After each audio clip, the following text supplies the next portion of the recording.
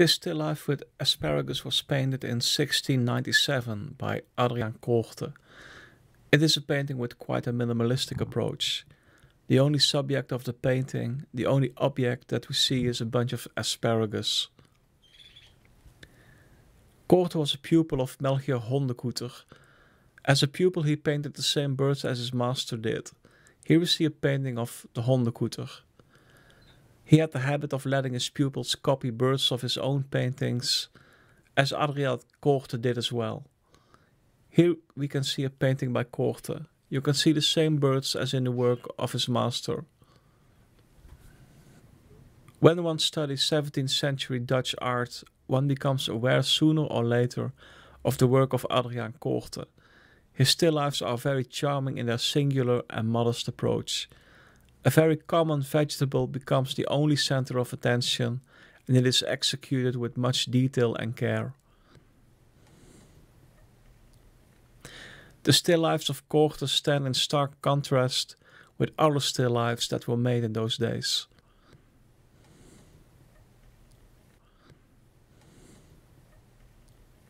Here we have, for example, a still life with flowers by Rachel Ruysch from around the same time period. You can see a whole spectacle of flowers in all sorts of shapes, sizes and colors. Rachel Ruysch was one of the few female artists of the day. While fruit of flower still lifes often show a superabundance of motifs, the still lifes of Coorte receive their charm through a very sober approach. Still lifes somewhat similar to those of Coorte are those made by Francisco de Zurbarán in Spain. Here we have a still life of a cup of water and a rose. It's the concentration on just a few motifs which creates a very concentrated vision. These still lifes of Zurbarán are bodegones. That was a type of still life practiced in Spain which shows pantry items often arranged on a simple stone. These kind of still lifes receive their charm by means of a minimalistic and sober approach. We don't know much about Coorte and whether he could have known the works of Zurbarán or other Bodegone painters. Perhaps something crossed his path. There were auctions in Amsterdam where they dealt in art from all over Europe, and there were collections, and maybe there was a painting which Coorte could have seen by a Spanish artist. Coorte painted on paper. While it was very cheap material compared to linen, I am struck by the archival quality of his work. When I was at the Mauritshuis at an exhibition devoted to his work some years ago, uh, his paintings showed very little or no cracks, and the surface had an almost velvet like appearance, and it appealed to me very much. The appeal of the still life with asparagus reminds me a bit of The Milkmaid by Johannes Vermeer.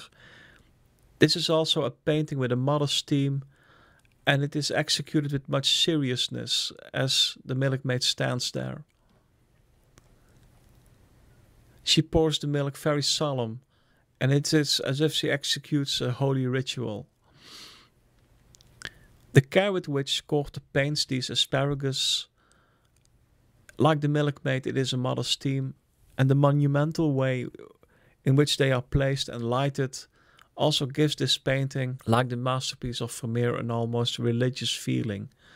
The modest and the normal receives a dedication that would otherwise be reserved for a crucifixion or the face of Christ. How can such a modest theme, a bunch of asparagus, inspire an artist to create such a timeless masterpiece?